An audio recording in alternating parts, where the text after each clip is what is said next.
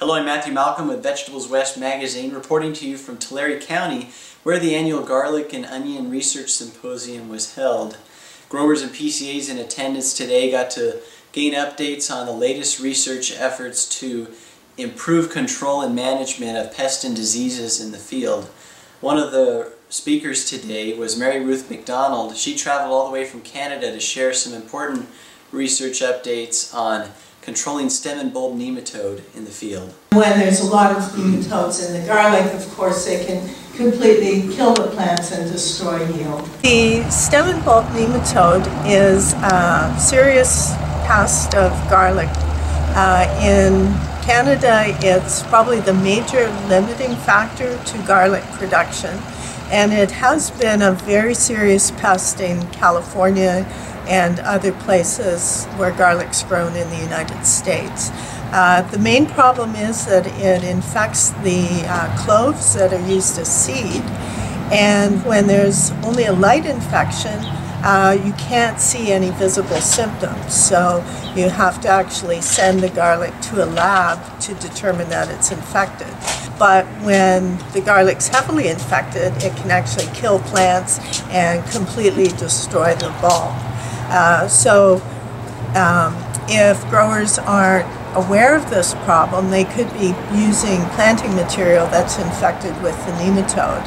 And um, that has happened in the past in Ontario and other places where garlic is grown, uh, sometimes with very devastating results.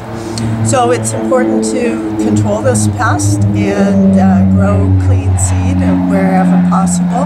The research I've been doing has been to evaluate treatments for the cloves prior to planting. Uh, we've also evaluated a number of other uh, treatments uh, putting a product in the um, uh, seed furrow before it's closed, um, spraying uh, some products on the garlic as it's emerging. Um, one product, Movento, is an insecticide, but also a nematicide. When you it on the leaves, it's supposed to be translocated down to the uh, base of the plant. The products that were most effective in our trials were uh, applied as, as seed soaks of the cloves. So they were soaked for four hours prior to planting. And those products were Agri-Mek, which is registered on garlic, but not for this use, and a new product called Velum Prime, which is not registered yet. Uh, when we had relatively low infestation, but still fairly high, so 380 nematodes per gram of dried clove. Um, the Agri-Mek and the Velum Prime uh, worked very well, and yields were the same as using uh, clean seed derived from tissue culture. When we had higher infestation, the Velum Prime was actually more effective than the Agri-Mek. Um, so the Velum Prime is definitely a very promising material for control of bulb and stem nematode, but it's not yet registered. So that's that's the next step. Um, certainly, if growers can access nematode-free seed, whether it's from tissue culture or just from a reputable grower, uh, that's really important. That's the best approach. But um, in uh, Canada, nematode-free seed is um, very hard to uh, obtain. Uh, crop rotation is a good thing for a lot of reasons, but can also be very effective for reducing uh, or controlling bulb and stem nematode if it's already in the soil.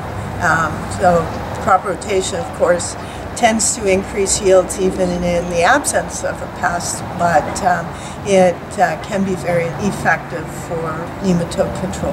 The interesting thing about uh, the Velum Prime, the active ingredient is fluopyram, and it was originally registered as a fungicide uh, called Luna, and it's uh, sold in combination with a number of other fungicides. One of them is Luna Tranquility. Um, so this fungicide has uh, received a registration already in New Zealand for white rot control. Um, so it would be very exciting if we had one product that could actually control the nematode and control white rot and which are the two biggest problems in garlic production in many parts of the world. Stay current on how to improve your pest management practices by reading Vegetables West magazine. I'm Matthew Malcolm, CaliforniaAgNet.com.